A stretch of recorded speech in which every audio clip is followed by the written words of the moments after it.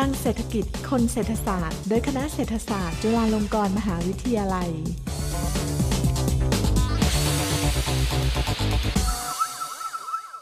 สวัสดีค่ะท่านผู้ฟังยินดีต้อนรับเข้าสู่รายการพินิจเศรษฐกิจการเมืองในช่วงคลังเศรษฐกิจคนเศรษฐศาสตร์ ของคณะเศรษฐศาสตร์ จุฬาลงกรณ์มหาวิทยาลัยค่ะ ดิฉันนางสาวกันธิกาลือชารัก นิสิตคณะเศรษฐศาสตร์ชั้นปีที่ 3 จุฬาลงกรณ์มหาวิทยาลัย เป็นผู้ดำเนินรายการในวันนี้ค่ะ และวันนี้นะคะเราได้รับเกียรติจากรองศาสตราจารย์ ดรคณิษฐาแต้มบุญเลิศชัยค่ะ มาพูดคุยกับพวกเรานะคะ ในหัวข้อ เครื่องมือทางการเงิน เพื่อการอนุรักษ์ความหลากหลายทางชีวภาพค่ะ สวัสดีค่ะอาจารย์ สวัสดีค่ะ ค่ะก็สำหรับหัวข้อในวันนี้ที่เราจะพูดคุยกันนะคะ เรียกได้ว่าเป็นจุดเริ่มต้นที่ดีและน่าสนใจมากค่ะ ในการลงทุนที่เป็นมิตรต่อสิ่งแวดล้อมนะคะ อีกทั้งยังช่วยอนุรักษ์ความหลากหลายทางชีวภาพของเราด้วยค่ะ จะเป็นยังไงนั้นนะคะ เดี๋ยวเราให้อาจารย์เล่าให้ฟังดีค่ะก็ก่อนอื่นนะคะก็ขอพูดถึงว่าความหลากหลายทางชีวภาพ หมายความว่ายังไงเนาะแล้วก็ทำไมเราถึงจำเป็นจะต้องอนุรักษ์มัน เสร็จแล้วค่อยไปพูดถึงว่าเครื่องมือทางการเงินที่ใช้อนุรักษ์ความหลากหลายทางชีวภาพเนี่ยมันมีอะไรบ้างคะมีรายละเอียดยังไงนะคะ ก็พูดถึงความหลากหลายทางชีวภาพก่อนเนาะความหลากหลายทางชีวภาพเนี่ยก็คือหมายถึงความหลากหลายของทั้งพันธุ์พืช พันธุ์สัตว์ สิ่งมีชีวิตอื่นๆ แล้วก็ความหลากหลายของระบบนิเวศที่พวกสิ่งมีชีวิตเหล่านี้อาศัยอยู่ด้วยนะคะ ความสำคัญของมันก็คือว่าระบบนิเวศที่มันมีความหลากหลายเนี่ยมันก็เป็นระบบนิเวศที่มีความเข้มแข็งมีความแข็งแรงนะคะทำให้เวลาที่มันมีการเปลี่ยนแปลงต่างๆ เกิดขึ้นเนี่ยมันสามารถที่จะทนทานต่อการเปลี่ยนแปลงได้ง่ายขึ้น แล้วมันก็ฟื้นฟูกลับมาได้เร็วขึ้น ระบบนิเวศที่มีความหลากหลายทางชีวภาพเนี่ยมันก็จะให้บริการหลายอย่างกับมนุษย์นะคะเเราเรียกกันว่าเป็นการให้ได้รับบริการจากระบบนิเวศ หรือว่า ecosystem service ระบบนิเวศให้บริการอะไรเราบ้าง ยกตัวอย่างเช่น การที่เรามีออกซิเจนเนาะอากาศสะอาดเนี่ยก็เป็นการฟอกอากาศจากพวกพืชทั้งหลายแหล่ถูกไหมคะ การที่เรามีน้ำที่สมดุล น้ำไม่ได้ท่วมน้ำไม่ได้แล้งเนาะหรือว่าเวลาที่เรามีฝนตกมาหนักๆเนี่ยถ้าเรามีป่าที่อุดมสมบูรณ์เนี่ยป่าก็จะช่วยอุ้มน้ำให้เรานะคะ ก็จะช่วยลดปัญหาการเกิดน้ำท่วมอย่างฉับพลัน ปัญหาการพังทลายของหน้าดินและอื่นๆนะคะ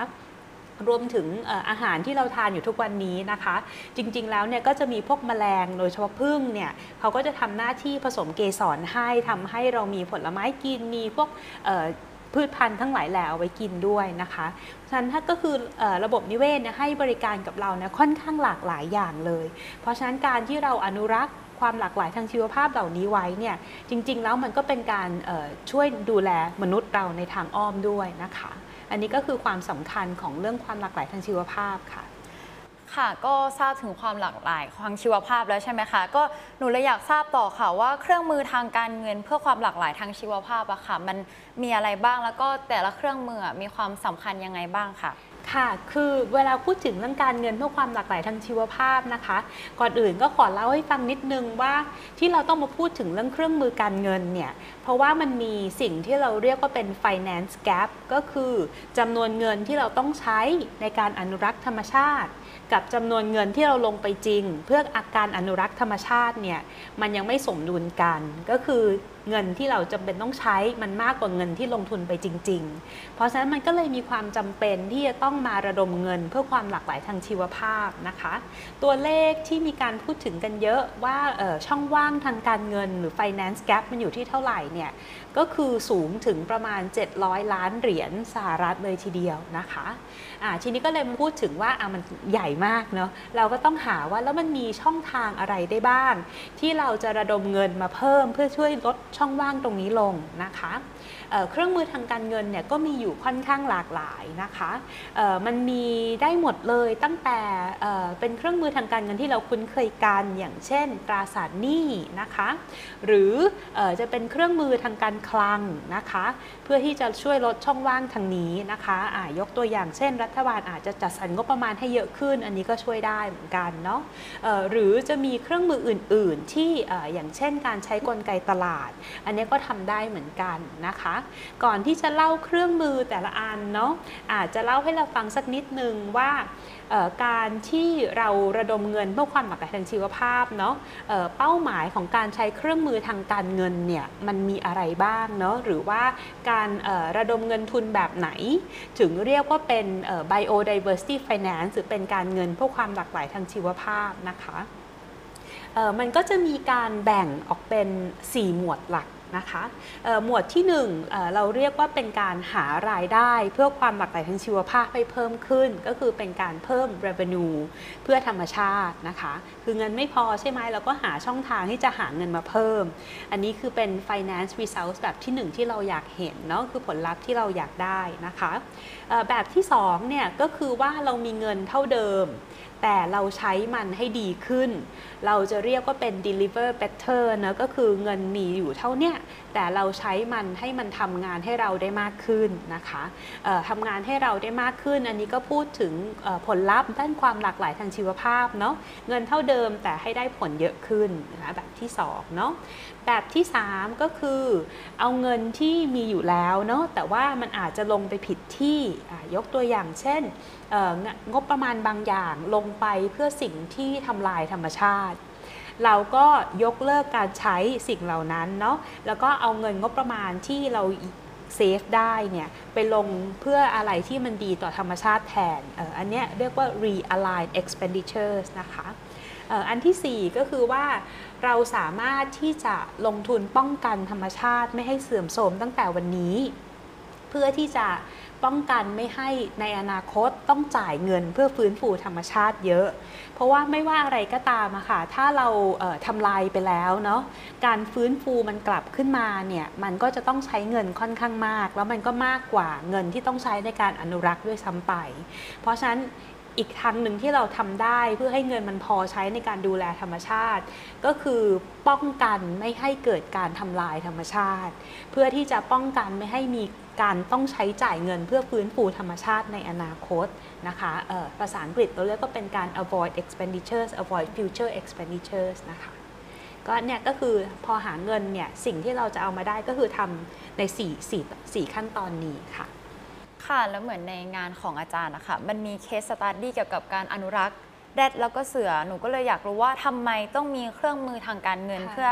การอนุรักษ์แรดแล้วก็เสือค่ะ ค่ะ คือเอเวลาที่เราพูดถึงความหลากหลายทางชีวภาพมันก็จะมีเยอะมากเนะแต่อยากจะเอาดึงตัวอย่างที่มันเคยเกิดขึ้นจริง หรือกำลังจะเกิดขึ้น เพื่อที่จะให้เราได้เห็นภาพชัดขึ้นนะคะเเวลาที่เราพูดถึงแรดกับเสือเนี่ยในทางชีวะเราจะเรียกว่ามันเป็น umbrella species หมายความว่าการที่เราอนุรักษ์แรดหรือการที่เราอนุรักษ์เสือเนี่ยมันจะช่วยให้ระบบนิเวศทั้งหมดมันดีขึ้น เพราะว่าสัตว์เหล่านี้ค่ะ มันเป็นสัตว์ที่ช่วยดูแลระบบนิเวศเนาะ โดยฟังก์ชันปกติของมันนะคะยกตัวอย่างเช่นแรดก็ได้นะคะ แรดเนี่ยเขาก็จะทำหน้าที่ในการที่จะกินพันธุ์พืชทั้งทั้งหลายแหล่เนาะทำให้พันธุ์พืชบางอย่างมันเติบโตดีขึ้นนะคะพอพันธุ์พืชมันเติบโตดีขึ้นเนี่ยระบบนิเวศมันก็ทำงานได้ดีขึ้น มันก็จะมีความอุดมสมบูรณ์ เพราะฉะนั้นการอนุรักษ์แรดไว้เนี่ยนอกจากจะช่วยให้ลูกหลานเรามีแรดได้ดูในอนาคตว่าหน้าตาเป็นยังไงเนาะมันก็ยังทำให้ระบบนิเวศรอบๆนั้นน่ะมันมีความหลากหลายทางชีวภาพ แล้วมันก็ค่อนข้างสมบูรณ์แข็งแรงนะคะ เสือก็เหมือนกันเสือเนี่ยมันเป็นสัตว์ที่มันมีพื้นที่หากินค่อนข้างมาก แล้วเวลาที่เสือมันอยู่ได้มันเป็นสัตว์ที่ทานค่อนข้างเยอะ มันก็จะทานสัตว์ตัวเล็กตัวน้อยหลาย ๆ ตัว เพราะฉะนั้นพื้นที่ที่เสืออยู่ได้เนี่ยมันก็จะเป็นพื้นที่ที่มันมีอาหารให้มันพอกินพอมันมีอาหารพอกินเนี่ยก็แสดงว่าระบบนิเวศมันอุดมสมบูรณ์ เพราะฉะนั้นถ้าเราสามารถอนุรักษ์เสือไปได้ ก็แสดงว่าระบบนิเวศบริเวณนั้นน่ะมันมีความอุดมสมบูรณ์มากนะคะ แล้วด้วยความที่พื้นที่ที่เสืออยู่มันใหญ่เนาะเพราะฉะนั้นพื้นที่บริเวณนั้นน่ะมันก็ไม่ใช่แค่เสืออยู่อย่างเดียว แต่มันก็จะมีคนอยู่ด้วยมีกิจกรรมต่าง ๆ เกิดขึ้นด้วย การอนุรักษ์เสือมันก็เลยเป็นการอนุรักษ์ความหลากหลายทางชีวภาพด้วยเหมือนกันนะคะ มันก็เลยเป็นที่มาของอะทำไมต้องเป็นแรดทำไมต้องเป็นเสือค่ะ ค่ะแล้วก็ทำไมอะไรคือเหตุผลที่เราต้องมีเครื่องมือทางการเงินเพื่ออนุรักษ์สัตว์สองสิ่งนี้ค่ะ ค่ะ ก็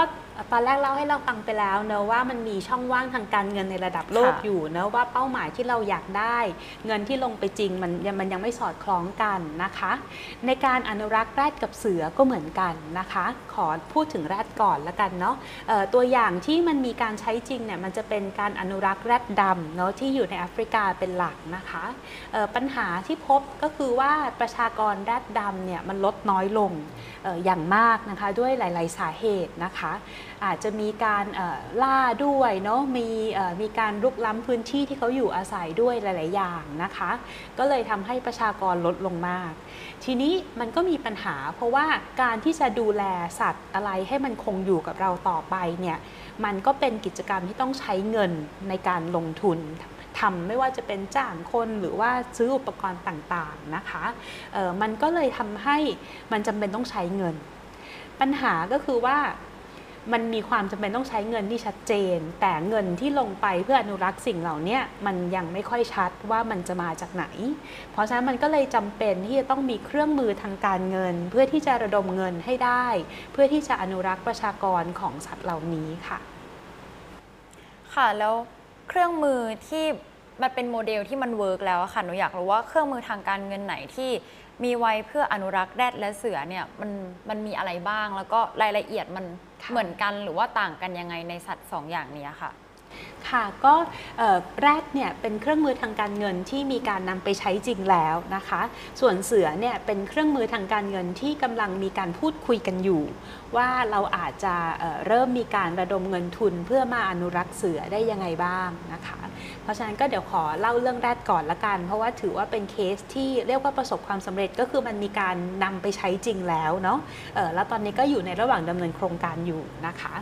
ะทีนี้ เครื่องมือทางการเงินเพื่ออนุรักษ์แรดเนาะมันเป็นยังไงหน้าตาเป็นยังไงนะคะ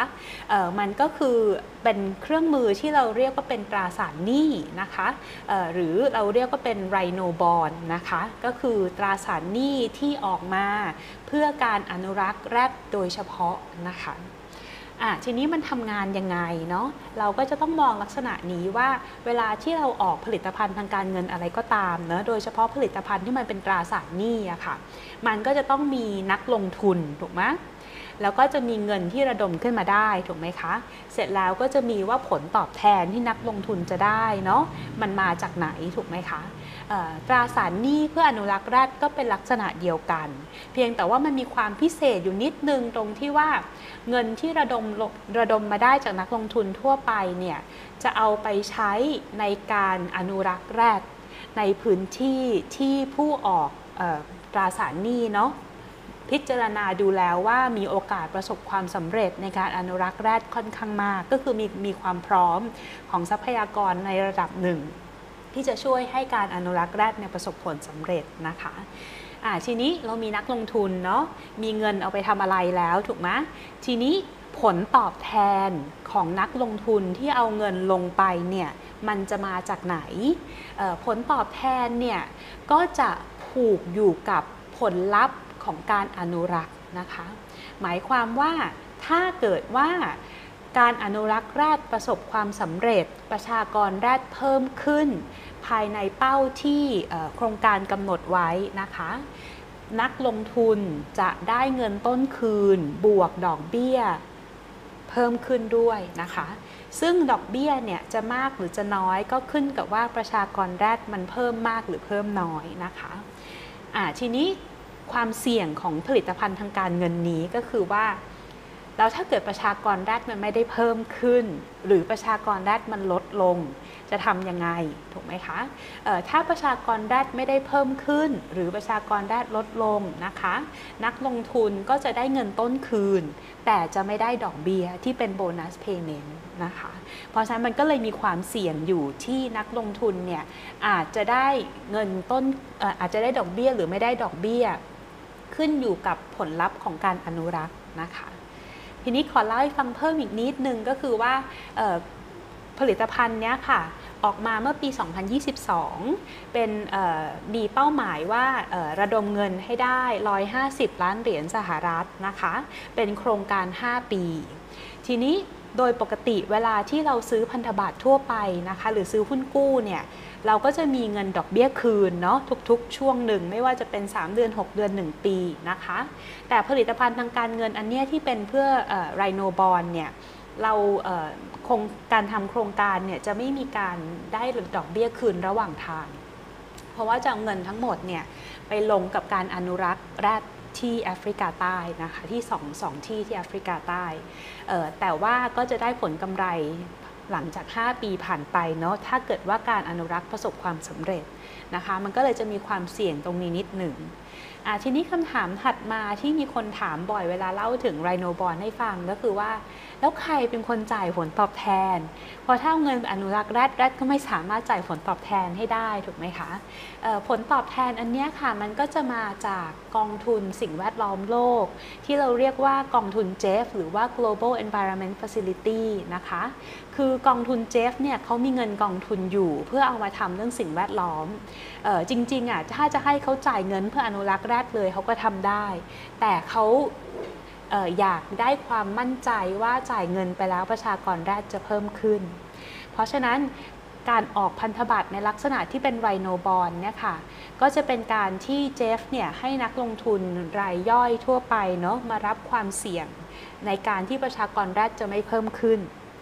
แล้วก็เจฟก็จะจ่ายเงินคืนเนาะเมื่อประชากรแรดเพิ่มขึ้นตามเป้า เพราะฉะนั้นเงินที่นักลงทุนจะได้ที่เป็นดอกเบี้ยถ้าเป็นเออถ้าถ้าอนุรักษ์แรดไปตามเป้าเนาะดอกเบี้ยที่จะได้เนี่ยก็จะมาจากเจฟเป็นคนจ่ายเงินต้นและดอกเบี้ยค่ะค่ะก็ได้รู้ถึงแบบตราสารหนี้เกี่ยวกับแรดไปเยอะมากนะคะ แล้วก็ในงานของอาจารย์นะคะยังมีงานที่กำลังจะเริ่มใหม่ก็คือเสือ หนูเลยอยากรู้ว่า โมเดลของเสือมันมีความเหมือนกันกับโมเดลของแรดไหมคะ ค่ะ คือจริงๆ แล้ว งานเรื่องเสือเนี่ยก็เป็นงานที่พอดีได้เข้าไปร่วมงานสัมมนานะคะของทาง UNDP ที่เพิ่งจัดมาเมื่อสักประมาณเดือน 2 เดือนที่แล้วนะคะ ก็เลยได้ได้ได้ได้ทราบข้อมูลนี้ก็เลยเอามาเล่าให้ท่านผู้ฟังฟังนะคะวันนี้เเรื่องเสือเนี่ยค่ะก็จะ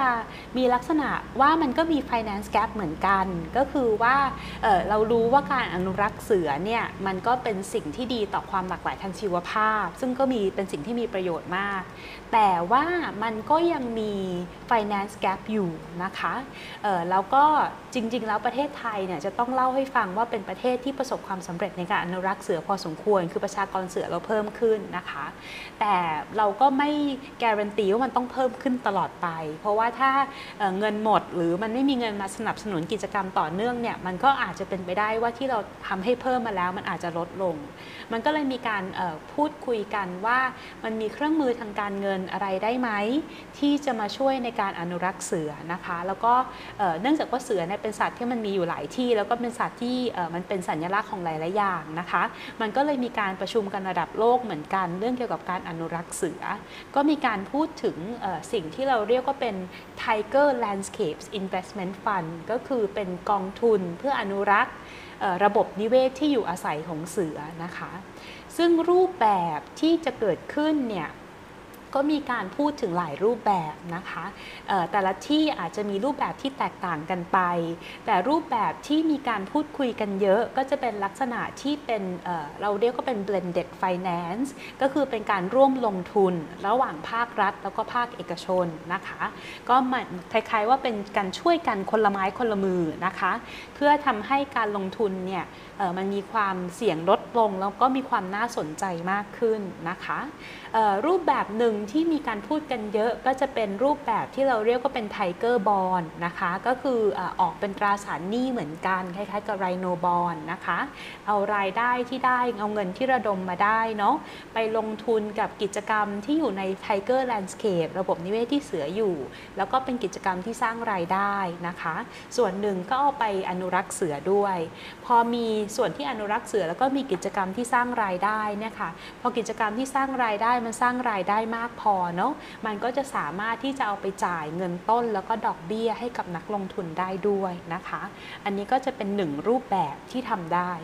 ทีนี้จริงๆแล้วมันมีหลายรูปแบบมากเลย แล้วก็จะเป็นรูปแบบไหนก็จะต้องขึ้นอยู่กับว่าบริบทของแต่ละที่ที่จะเอาไปใช้อะค่ะ มันเหมาะกับรูปแบบไหน ตอนนี้ก็ยังมีการศึกษากันอยู่ ยังไม่ได้มีการตัดสินใจว่ามันจะหน้าตาเป็นรูปแบบไหนเป็นพิเศษค่ะ ค่ะ แล้วด้วยความที่เหมือนรูปแบบมันยังไม่ชัดเจนค่ะ แต่ การลงทุนจากภาคเอกชนนะคะคิดว่าน่าจะมาจากส่วน CSR อาจารย์มองว่าทางภาครัฐอะค่ะจะทำยังไงให้ทางภาคเอกชนเนี่ยหันมาสนใจในไทเกอร์บอลมากขึ้นค่ะ ค่ะ อันเนี้ยก็เป็นประเด็นที่น่าสนใจเหมือนกันเนาะก็คือจริงๆแล้วเนี่ยออตอนเนี้ยค่ะในในระดับโลกเนี่ยก็มีการ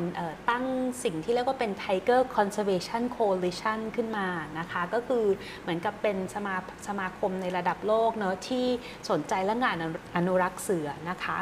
แล้วก็จริงๆแล้วเนี่ยมันก็จะมีแบรนด์หลายๆแบรนด์เนาะที่มีเสือเป็น อยู่ในตัวของแบรนด์หรือเป็นลักษณะเด่นของแบรนด์นะคะแบรนด์ที่มีลักษณะเหล่านี้เนี่ยก็จะเป็นแบรนด์ที่จะสนใจในการอนุรักษ์เสือเป็นพิเศษ เพราะมันเป็นเอกลักษณ์ของแบรนด์เขาถ้าเกิดว่าเสือหายไปเนาะก็อาจจะมีปัญหาได้ หรือแม้กระทั่งบริษัทที่มีธุรกิจในพื้นที่ที่เป็นที่อยู่ของเสือนะคะ ก็อาจจะทำให้เขาสนใจในการที่จะมา ลงทุนในพันธบัตรลักษณะแบบนี้นะคะ เพื่อที่จะช่วยให้พื้นที่ที่เขาทำงานอยู่เนี่ยมันสามารถอยู่ได้อย่างยั่งยืนต่อไปนะคะทั้งนี้ทั้งนั้นก็ต้องศึกษาด้วยว่าแต่ละที่เนาะบริษัทลักษณะไหน หรือว่านักลงทุนลักษณะไหนที่จะเข้ามาเป็นผู้ร่วมลงทุนนะคะ อันนี้ก็อาจจะต้องลองดูต่อไปว่าในแต่ละที่มันอาจจะไม่เหมือนกันค่ะ ค่ะแล้วก็จริง ๆ น่าสนใจมากที่อาจารย์บอกมานะคะ ว่าเป็นการลงทุนเพื่อความหลากหลายทางชีวภาพ ซึ่งถ้าไทเกอร์บอลนะคะมันประสบความสำเร็จในระยะยาวจริง ๆ ของไทยหนูอยากรู้ว่า อาจารย์มองว่ามันจะเกิดผลดีในระยะยาวยังไงต่อประเทศไทย แล้วก็จะส่งผลกระทบทางอ้อมยังไงต่อสิ่งแวดล้อมของโลกด้วยค่ะ ค่ะ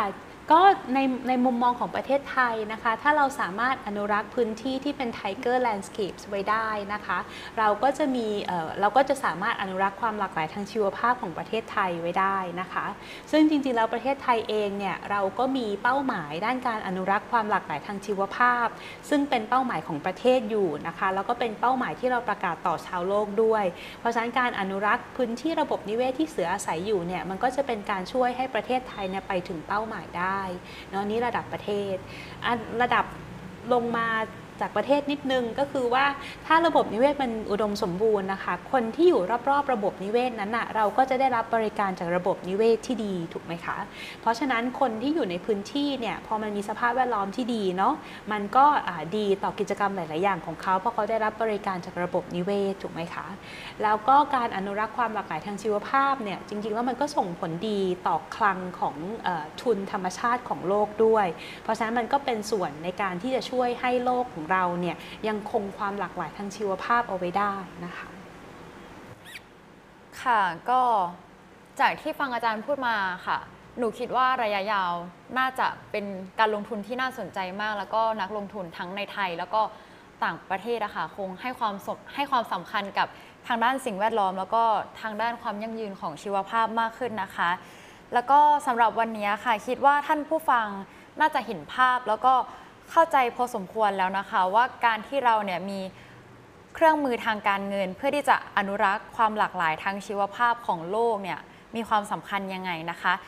สำหรับวันนี้นะคะ รายการของเราก็หมดเวลาลงไปแล้วค่ะ ขอขอบคุณนะคะ อาจารย์คณิ t าแต้มบุญเลิศชัยนะคะ ที่ให้เกียรติมาให้ความรู้แล้วก็ ให้ข้อมูลที่น่าสนใจครับกับพวกเราค่ะ แล้วก็ขอขอบคุณท่านผู้ฟังทุกท่านนะคะ ที่ติดตามรายการของเราค่ะสำหรับวันนี้ลาไปก่อนค่ะ สวัสดีค่ะ สวัสดีค่ะ